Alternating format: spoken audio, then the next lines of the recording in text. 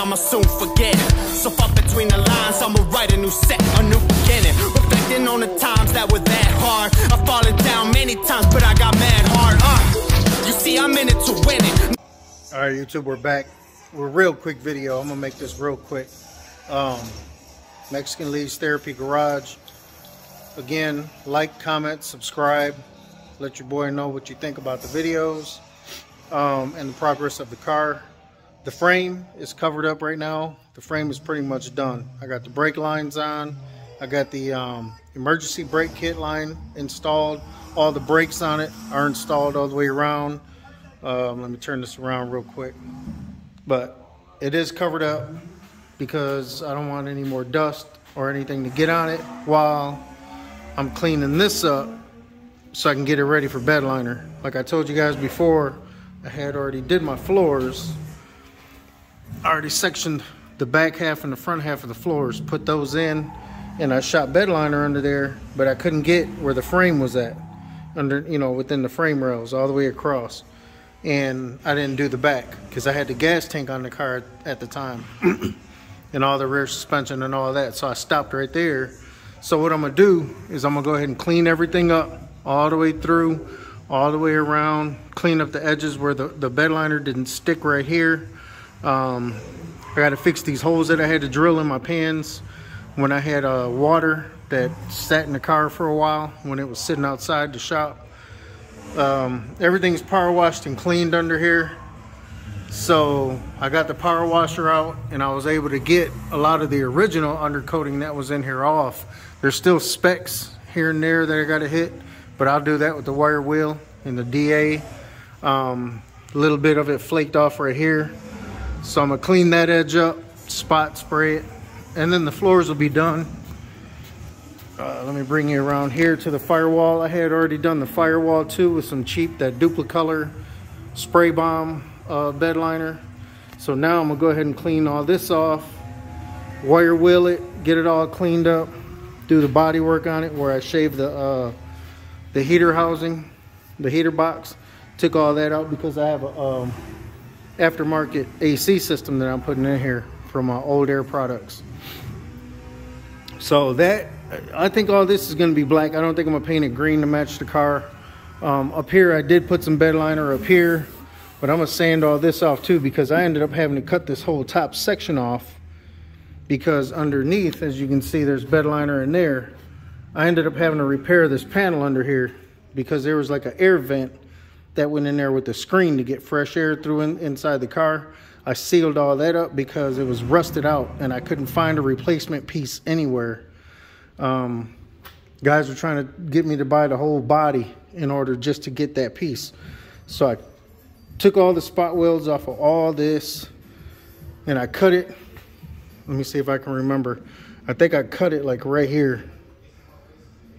Or no, maybe right here. I might have cut it right here can't remember. But anyways, I cut, I sectioned it and I got pictures somewhere, but I sectioned this whole piece off. It came off in two pieces.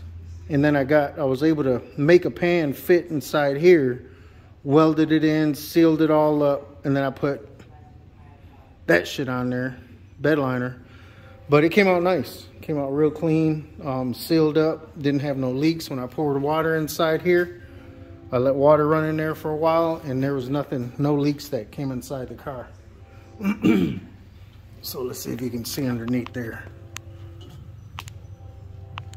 But that's the section that I cut out and welded my own, I made my own plate and welded that in there. So that'll get all undercoated and cleaned once I get all this section ready for, uh, you know, after the body's ready to get work back on. But I, I, power washed it out pretty good. It had a lot of rat poop and stuff in there, so urine from the rats took all that crap out of there. So the body's now ready for me to start cleaning and prepping, getting the belly uh, shot with undercoating. And um, once all that's done and complete with the firewall, I may, I think I am gonna go ahead and set the motor and transmission in the car, in the frame, and then set the body back on, but I'll tape all that up because I want all that done and complete. I'll tape it all up. I don't care about tape, taping and masking. I love doing that. So I'll get it all taped up and covered up real nice and then start doing my body work. I'm gonna take all this old primer back off, all the old body work back off, and I'm gonna redo it all. So the doors I never did, the hood I never did. I got the hood up here, um, a few other parts, uh, everything, all the parts, shit, really, to this car. I bought so many, so many parts for this car back when I was first starting to work on it. Uh, door seals, trunk seal kit, all that crap. So um, what I'm working on is these wheels. Okay, like I told you guys before, the Evapo-Rust, man, I love it. I soaked this rim in it overnight and I had to come out and spin it today before I went into work. So it was rusty all the way around. And I was trying to hit it with paint stripper to get this paint or I don't know what this is, powder coating. I don't know what it is, but it, did, it barely touched it. So I'm gonna hit it with my wire wheels. I went to Harbor Freight and bought a bunch of um, wire wheels, but it took a lot of the rust off, surface rust that was on this rim. As you can see, there's still a little bit in there, but you can see the lines where the Evapo-Rust cleaned it up. So what I'm gonna do is I'm gonna come back with my wire wheels and I'm gonna hit it real good, um, get it cleaned up, and then I'm gonna sandblast some of the areas that I couldn't get with the wire wheel, which I did on this wheel. It's soaking now, but yesterday I worked on it for a couple hours and I hit it as much as I could. This one was pitted real bad in here on both sides. So I got all that out but she's soaking now so it's to remove whatever rust is in there off I got to go actually pick up some more five gallon buckets like a hundred bucks so I'm gonna try to order another one in the morning that way I can fill that up pretty high once I'm it's reusable too so once it's done once I'm done soaking all my parts I'll pour it right back in the five gallon buckets whatever I got left it's evaporating somehow. I guess it Evapo-Rust. That shit evaporates in air. So um, these are the other two wheels that I'm working on. The insides aren't too bad. This one and this one, this one's really, really decent. Um, but it's the backs that is the reason why I put the Evapo-Rust in there, or soaking them in the Evapo-Rust because I want that off. The wire wheel took it off real fast, real easy. So there's no holes. It's not it's not thin. It's not rotted. It's just surface rust. The other one's kind of like that too on the backside. So my spare isn't in that bad a condition either. So they're going to be easy. It's going to take a little bit more time rather than me sending them to somebody to sandblast. I could probably get that done faster um, with less headache, but at the same time, save me a couple bucks. I can put that money into something else. Um, so I just wanted to real quick make this video just to kind of show you guys what I'm doing as far as my wheels. And these are the wheels, the wire wheels that I'm using. I got a DeWalt one here.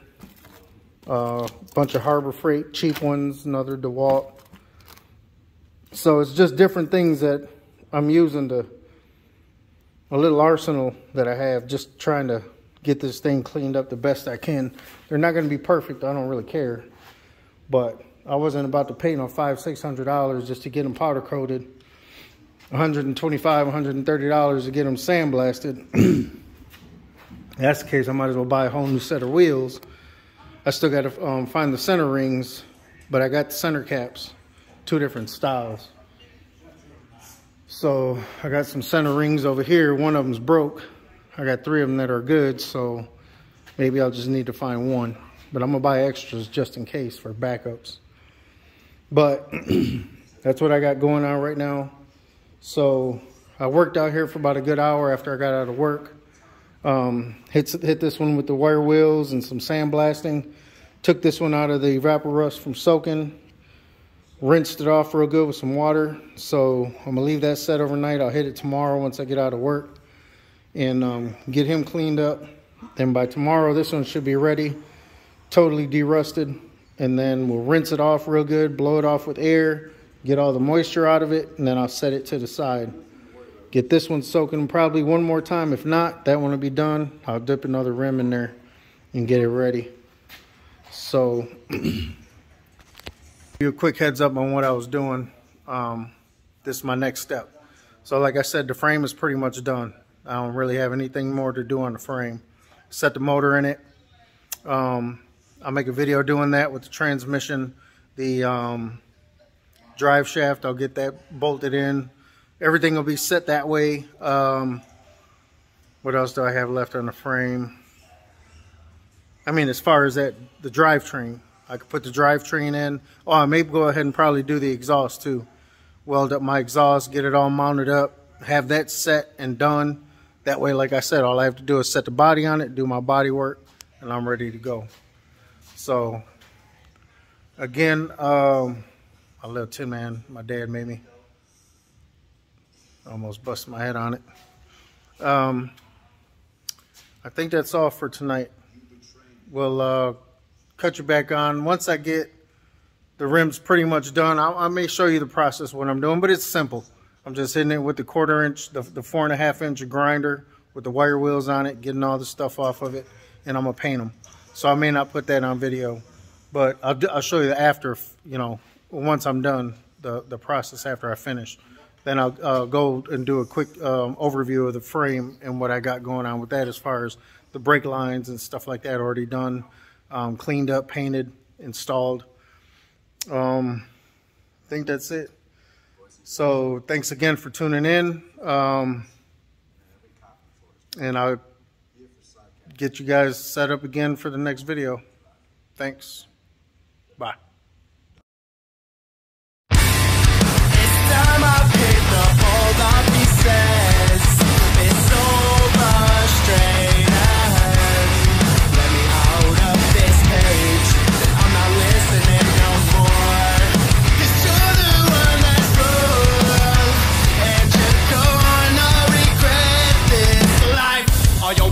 I'ma soon forget. So far between the lines, I'ma write a new set,